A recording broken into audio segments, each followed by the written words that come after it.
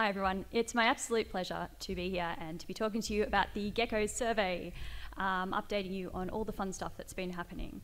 Uh, so, before I jump right back in, I'm just going to ask a quick question to the audience. Uh, how is the Milky Way formed and is it a weirdo? Now, I'm not expecting an answer from you all right now, but I do, and actually that is two questions, but I do expect that at least one of those questions is of interest to most people in this room right now. Now, we've got a couple of ways of attacking these questions. The first part is how is the Milky Way formed? We've been making great projects with galact progress with galactic surveys. That's galactic with a capital G. Uh, so GALAH, Apogee, Gaia, so many stars these days, all with kinematics and chemistry. So we really have a great um, picture now of the Milky Way and the individual structures within them, both chemical and kinematic structures. The only downside to studying the Milky Way is that the sample size is one. Okay? So, the second part of the question is the Milky Way a weirdo? We really need to turn to extragalactic surveys of Milky Way analogues or something like that.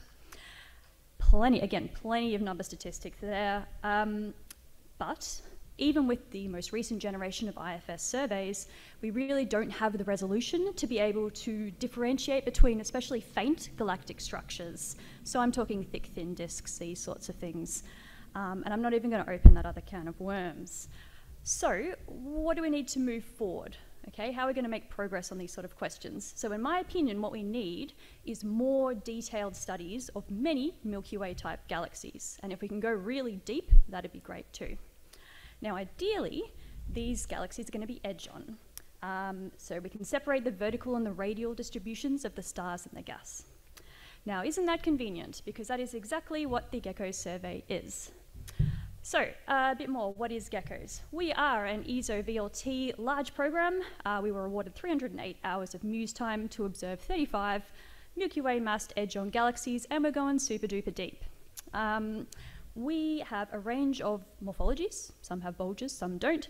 About half of them have these boxy peanut bulges, these X-shaped things, which are the edge-on projection of a buckled bar. And also, very importantly, we have a range of star formation rates. We've got a super main sequence, a main sequence, and a sub-main sequence sample. All can be seen in our beautiful family portrait, arranged by star formation rate. Uh, now, range of star formation rates at a similar mass probably means a range of assembly histories. So we're really pr probing the whole spectrum of disk galaxy assembly histories of Milky Way mass. Okay, so how do you get a Milky Way mass galaxy? How many different ways are there that you can get a Milky Way mass galaxy?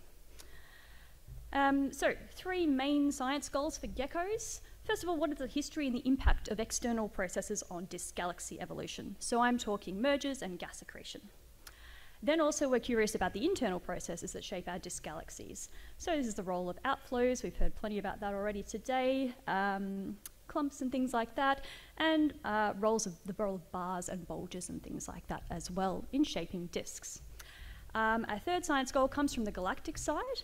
So we have all of these fantastic chemokinematic models of Milky Way galaxy formation and evolution. Can we take these models and apply them to external galaxies? And that's going to tell us two things. First of all, can we use the Milky Way as a template for disk galaxy evolution? And secondly, um, well, can we use it? Right, yes. And then uh, what is the predictive power of these models? Okay, so do we actually know how the Milky Way has formed? Can we constrain these models? Um, so this is the Geckos steering committee. You already saw this picture today, and this is everybody in the Geckos team. Uh, there's over 40 of us now, which is super exciting, and everybody that has uh, a name in purple is an Astro 3D member. So that's over half of us now these days. Uh, these are the hats that the steering committee wears. Uh, our benevolent and esteemed leader, Jesse van der Sande, is the PI. I'm the deputy. We've got Michael Hayden over there as the Milky Way modelling coordinator, or the galactic overlord as I prefer to call him. Marie Martig is our science coordinator, and then Deanne Fisher is our multi-wavelength coordinator, handling all of those invisible wavelengths that scare me. Now, what is the status of our survey? So, we have some data. Uh, 71 of our OBs have been observed already. Um, we're one and a half semesters in out of four, which is very exciting. We are neck deep in data reduction and data analysis pipeline development at the moment. Um, I wish I could say that this was the Geckos data reduction team, but there's not a thousand of us, unfortunately. Uh, it's mostly just three monkeys at the moment, and instead of typewriters, uh, we're bashing MacBooks. So, uh, some of our galaxies, however, are completed, which is super exciting. Uh, we're doing lots of QC, all of that fun little stuff. But in my totally unbiased opinion, this is like the best IFS data I've ever seen. And so for the rest of this talk, I just get to show you pretty pictures. Nothing better than that. Uh, there's a galaxy missing. well, I'll just show you. I'll just show you one. That's incredibly strange. Okay, you'll have to come see me for the full picture. Oh, well, that's all right. In my opinion, the bottom one was more interesting anyway. Um, here's A, DECaLS image of PGC 44931. Um, fine. I'm going to overlay, yep, still not there. Okay. I'm going to overlay the Muse cubes uh, of these images, reconstructed three color images of the Muse cubes, okay? Um, the top one, yeah, was meant to be ESO 120016 as well. The most exciting thing about this is that you, the Muse cubes are deeper than the DECaLS imaging. You can see extra stuff. So, and every single one of those pixels is actually a spaxel and has a spectrum associated with it. So that's just an idea of the enormity of the data that we have coming in and the beauty of it. So now some derived data products. These are the stellar kinematics. Uh, so the stellar velocity, um, first, uh, the top one is just a plain old disk galaxy. The bottom one had a boxy peanut bulge, like I was saying earlier. So the projection, uh, outwards projection of a buckled bar. So the really cool thing about the bottom galaxy, PGC, is that weird, oh, I've got a laser that weird feature here at the very center here. Uh, this is the kinematic signature of a nuclear disk, which is super exciting that we can see that. Um, we expect it, that's great. We expect bars to funnel gas into the central regions of galaxies, creating these nuclear disks, which form stars as well. But it's just very exciting that we saw it, because we are a little bit worried that the dust might be obscuring these sorts of fun features. Also, we've got the stellar velocity dispersion, uh, the top one looks fairly normal. Those stripy things there are caused by the dust lanes. Uh, dust is going to be a problem. It's an edge-on galaxy. But there's a fun feature in PGC. Uh, this little feature in the center, which we've been referring to as the croissant, uh, just here.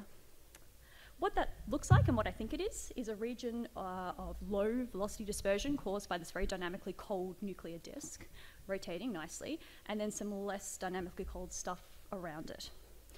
Um, that's going to be really exciting to explore. So I'm really looking forward to that. Moving on to the gas. There we go.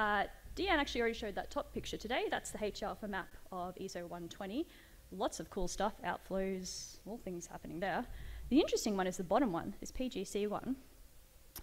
There's no real outflows, at least that I can see. I'm no expert. Even though the star formation rates of these galaxies are similar and they're the same mass. So I don't know what's going on there.